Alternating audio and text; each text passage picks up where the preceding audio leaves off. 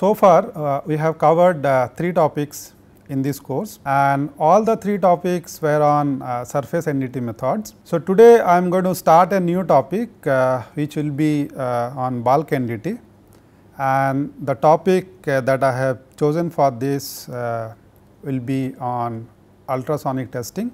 So, this is uh, a technique which can be used for doing uh, NDT into the bulk of the material if uh, there is any flaw or defect which are much below the surface. Ultrasonic technique is one method uh, which can be used for inspecting this kind of defects which lie into the bulk of the material and this technique uh, can also be used uh, for doing surface NDT. So, it can be used for both. That is why ultrasonic testing is one of the most versatile NDT method and from uh, today onwards in next few classes we will be uh, discussing about uh, this particular technique. So, since uh, this technique as the name suggests uh, based on ultrasonic waves. So, let us first see uh, what ultrasonic uh, waves are and what their properties are and then we are going to see how these waves are used for doing NDT. Okay.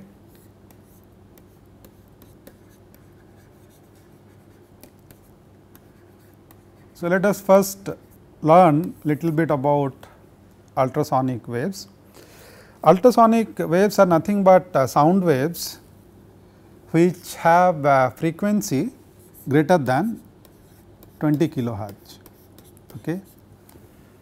So, anything below uh, 20 kilohertz uh, would be in the audible range. When you go uh, to a frequency beyond 20 kilohertz, then the sound waves are in the ultrasonic range.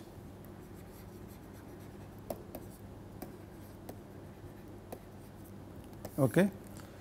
So, this is what ultrasonic uh, waves are and if you uh, see their nature and properties,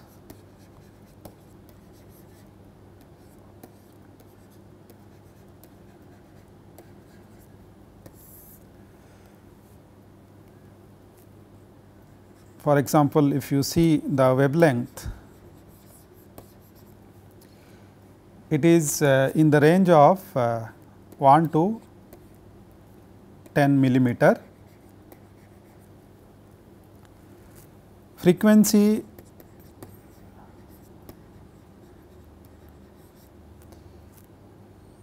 is 0.1 to 15 megahertz but uh, generally uh, for doing ultrasonic testing a frequency uh, within 10 megahertz is used. So, 20, 20 kilohertz and above up to 10 megahertz is used for ultrasonic testing for doing NDT and this wavelength lambda is a factor of the velocity of these waves and the frequencies in this fashion.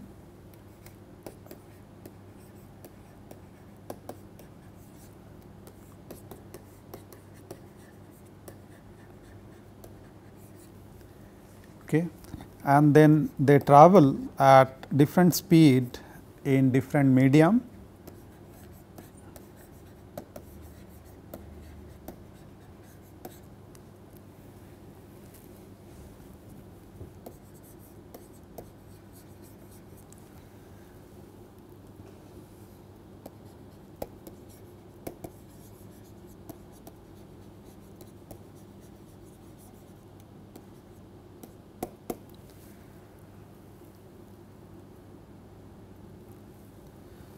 and in most of the metals uh, the velocity change uh, with uh, frequency is not very significant. So, these are some of the typical uh, characteristics of uh, ultrasonic waves.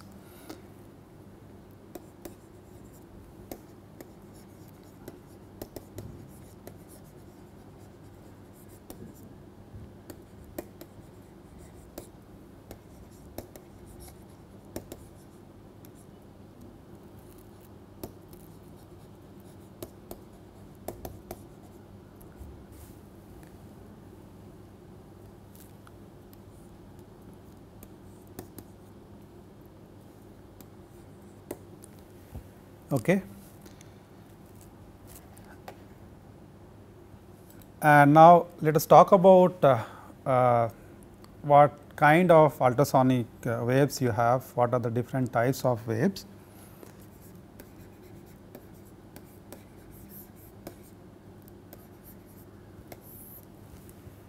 Primarily, uh, as far as NDT is concerned, you have uh, two types of uh, waves.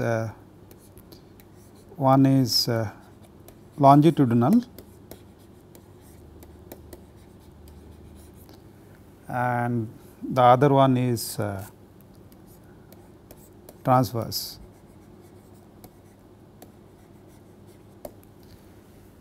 Okay, and let us see why it is called longitudinal and transverse and what is the difference between them. Okay. So, now if you talk about uh, the longitudinal waves,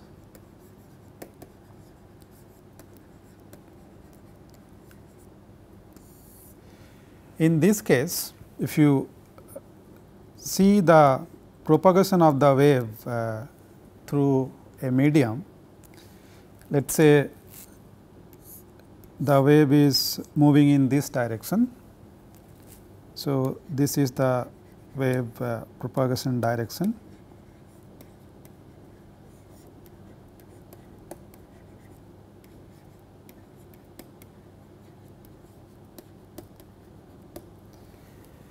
And when sound moves uh, through a medium, it uh, creates a local pressure, local sound pressure, which will uh, push the atoms or the particles and create a lattice wave inside the solid.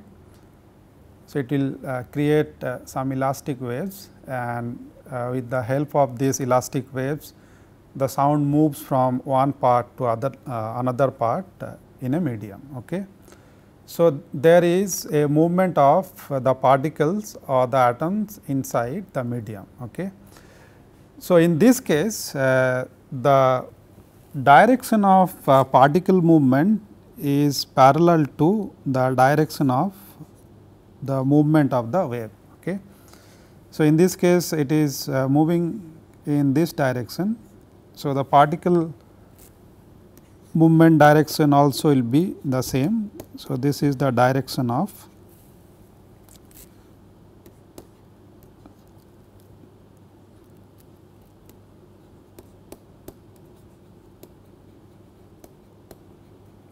particle movement. Okay. So, that means the movement of these particles will be coordinated in the sense that uh, the first atom can push the second one and the second one can push the third one and so on, since they are moving in the same direction as the wave. Okay. So, in this case uh, the movement of the particles are coordinated and they can help each other uh, in moving when the sound wave is moving through the medium. Okay.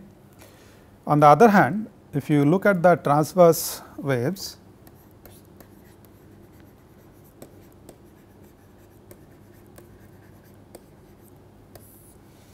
in this case uh,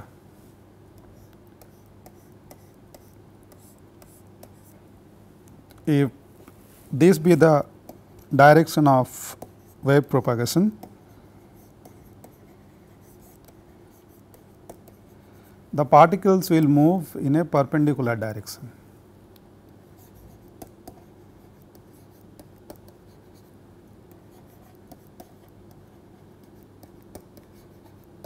like this. Okay. So, in this case uh, the movement will be like this Okay. That means the particles are going up and down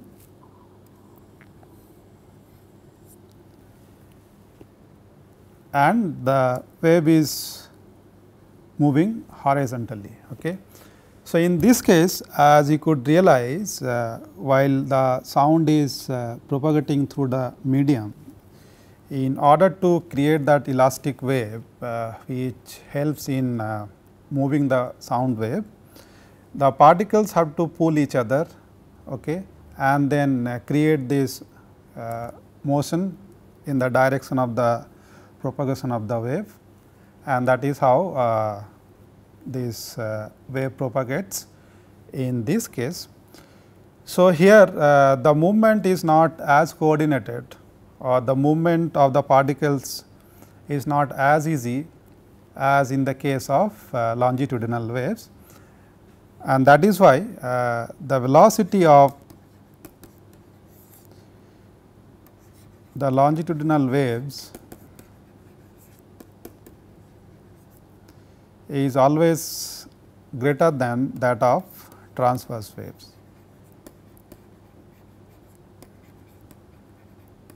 Okay. This is uh, due to uh, the difference in the movement of particles with respect to the direction of wave propagation. Okay. So, in one case in the longitudinal case uh, the direction of wave propagation and particle movement are same and as a result the particles can move uh, easily. And in the case of uh, transverse waves since the direction of the particle movement is perpendicular to the movement of the wave propagation, here the difficulty level for movement of the particle is more compared to the longitudinal waves and that is why the velocity of the longitudinal wave uh, in a particular medium uh, will be more than transverse waves. So, these are the two uh, primary types of uh, ultrasonic waves.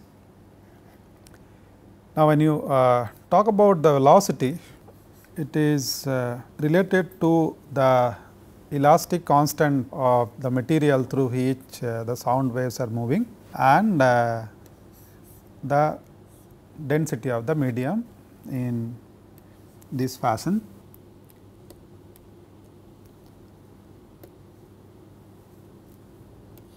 So, C i j is the elastic constant of uh, the material. For example, it could be the Young's modulus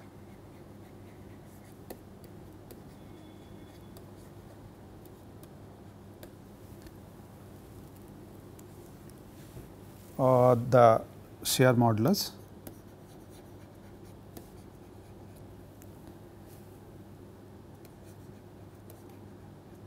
So, shear modulus uh, can be used for transverse waves and Young's modulus can be used for the longitudinal waves.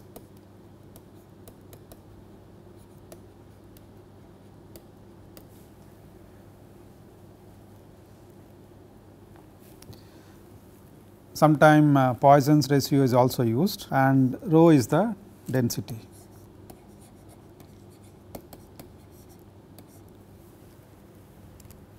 Okay, so, the, the properties of the material will decide what will be the velocity of sound uh, through that particular material. Now, there are uh, certain other types of uh, ultrasonic uh, waves also since we are talking about different types of waves, let us talk about those also. For example, uh, in uh, surfaces or interfaces,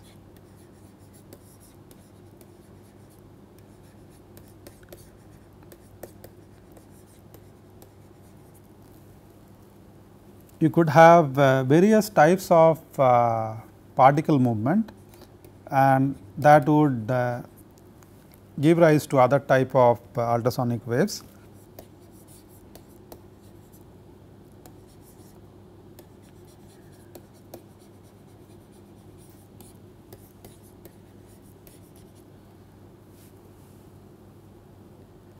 For example, you could have elliptical or other complex uh, kind of paths in the movement of the particles as the sound uh, moves through the medium.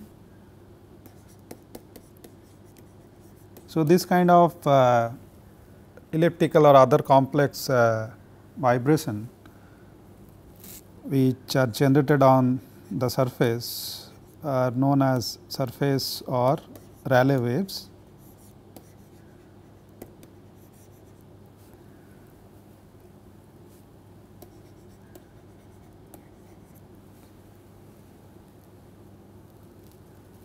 Which are generated in relatively thick samples.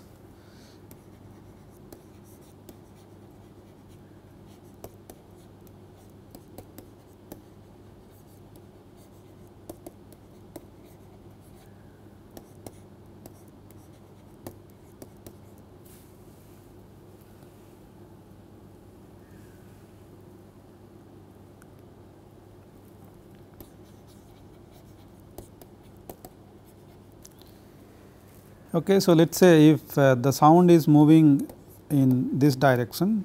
So, you can have a particle movement path like this uh, like in an elliptical path as I said.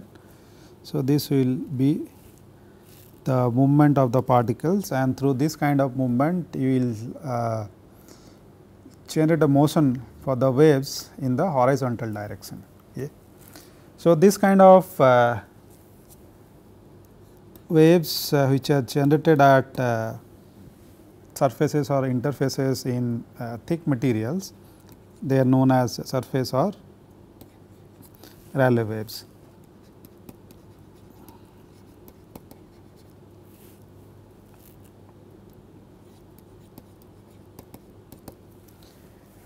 Okay. And in uh, thin plates uh, you could have uh, some other type of waves uh, being generated.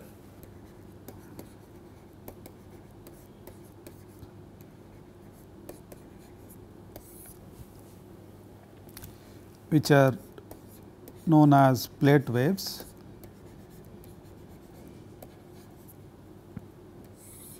And this can be further divided into two categories. One is uh, known as Lamb and the other one is known as Love. Okay. So, Lamb uh, is the component of the vibration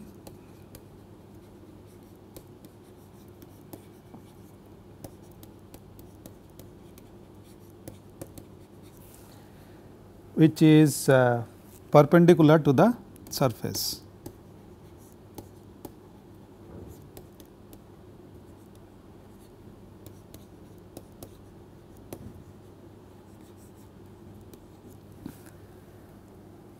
And Love is uh, parallel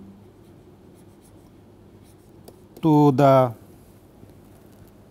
plane layer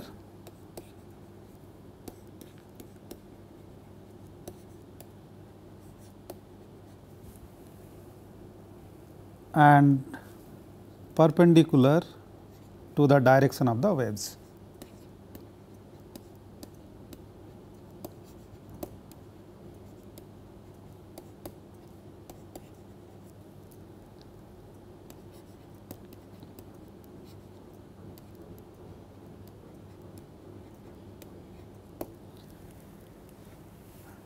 Okay, so these are uh, two different types of uh, plate waves uh, that uh, you can find on thin plates.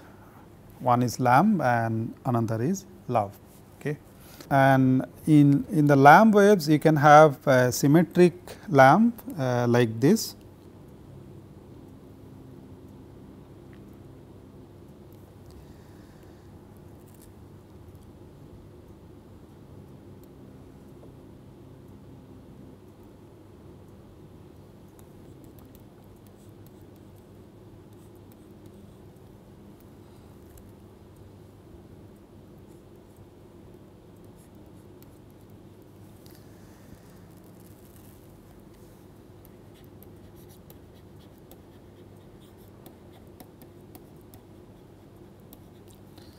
symmetric Lamb or these are also known as ex extensional waves.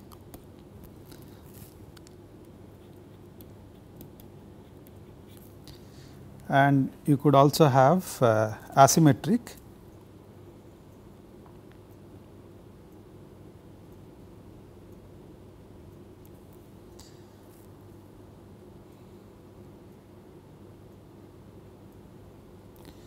like this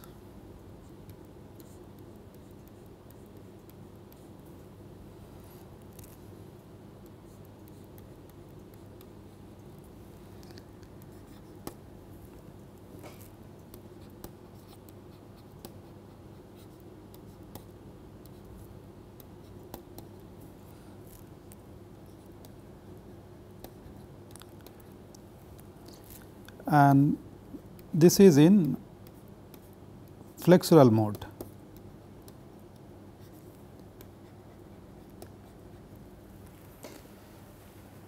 Okay, so, these are uh, different types of uh, ultrasonic waves. Our primary concern for uh, ultrasonic testing for NDT would be uh, the longitudinal and uh, the transverse waves. So, we will talk about uh, more about them only when we talk about ultrasonic testing as a NDT method. Now, let me tell you how these ultrasonic waves are used for doing NDT. The basic principle behind this is fairly simple. We all know about uh, reflection of sound waves or the echo of sound. Like for example, uh, if you talk loudly in an empty room, uh, the walls will reflect the sound and you will get an echo. Okay? So, while doing ultrasonic testing, uh, what is done is these ultrasonic waves are sent into the sample and uh, when these uh, waves are reflected back, uh, they are collected uh, by a transducer, which is finally will generate the signal if there is any defect. Okay. So, this defect will also act as a reflector, which can reflect the sound waves. Okay. But in that case, the reflection interface is much smaller compared to a wall.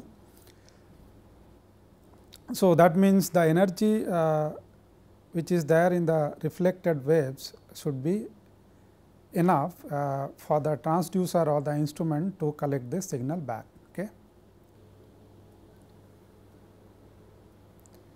Okay, so, the energy uh, in the transmitted uh, sound waves will depend on uh, the sound pressure which is uh, created by these uh, traveling waves. Okay. You might know that uh, sound waves uh, travel through a medium by oscillatory movement of the atoms or the particles and this movement is due to the local pressure which is created by sound. So, this pressure is the excess pressure above the atmospheric pressure. Okay. So, when sound waves travel through a medium, this local pressure provides some movement to the atoms and due to the bonding uh, between the atoms it creates uh, an oscillatory movement which in turn will create a wave. Okay. So, that is how the sound waves uh, propagate uh, through a particular medium. Okay. So, let us say uh, this local pressure uh, which is created by the sound is p and let us say it provides a velocity to the particles or the atoms which is q. Okay. Because as I told uh, this will provide some movement to the particles or the atom. So, let us say the velocity of that movement is q. So, p will be uh, proportional to q. Okay. Higher the p higher will be the movement uh, between the atoms. Now, if you uh, introduce this uh, proportionality constant then you can write it in this fashion and this parameter z which is p by q this is known as acoustic impedance.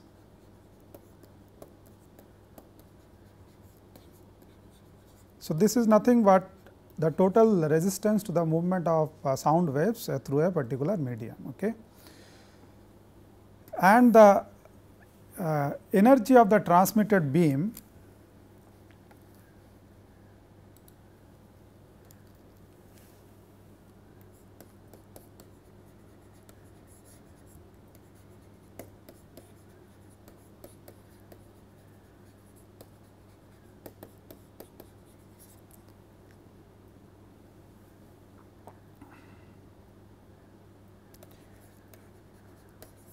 The energy in the transmitted uh, waves E is again dependent on the pressure P in this manner.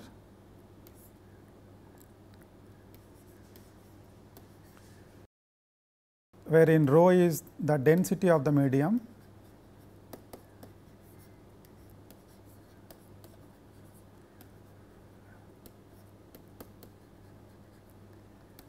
and v is the velocity of uh, sound waves through the medium.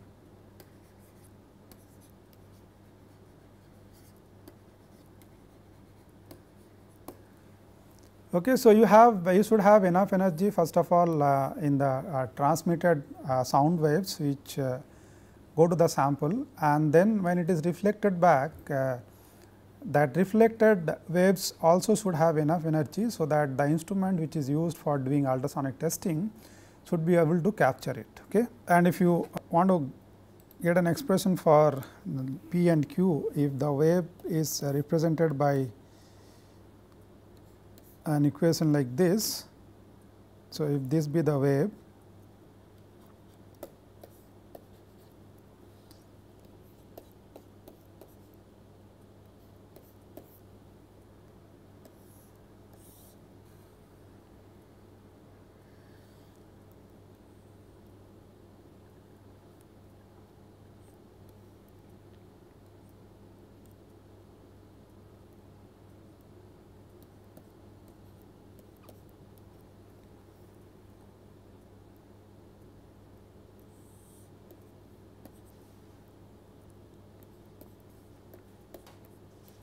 Okay, so, if, this be the wave where uh,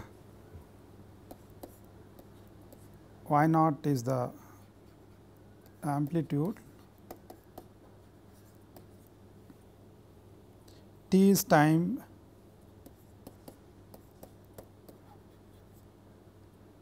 omega is the angular frequency which is 2 pi f where f is the frequency and k is known as wave number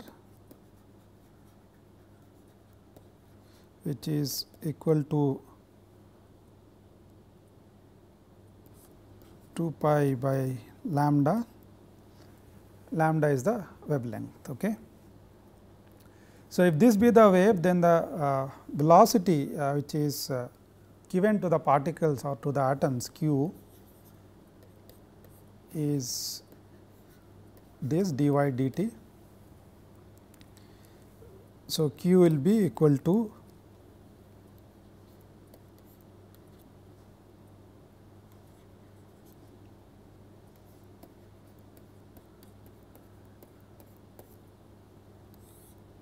this. So, this is the effect of uh, sound waves uh, when it uh, travels through a medium it provides this uh, velocity q and uh, the resistance uh, to the movement of sound wave is provided is given by that parameter acoustic impedance. Okay.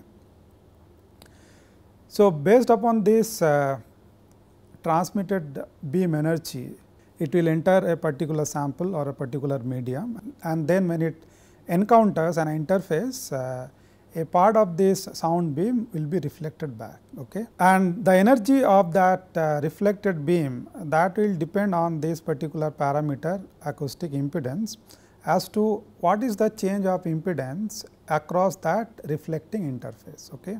So, that is what will decide the energy in the reflected beam and as I said if the energy is enough in this echo or in this reflected beam then you can use an instrument a transducer to capture that energy and convert that into a signal which can be shown in the display of the system and that is how you will get to know about uh, presence of defects if that reflecting interface be a defect. Okay. So, that is how uh, the basic principle is uh, behind this particular technique. It is a fairly simple one, it is based upon the reflection of sound waves uh, from a discontinuity which provides a, a, reflecting interface to the sound waves which are propagating through the sample. Okay. Yeah, so, uh, with that uh, today I am going to stop here and in the next class we are going to see how these ultrasonic waves are used to do uh, non-destructive testing and rest of the things also about this particular method we are going to see in the uh, subsequent classes. So, for today I will stop here. Thank you for your attention.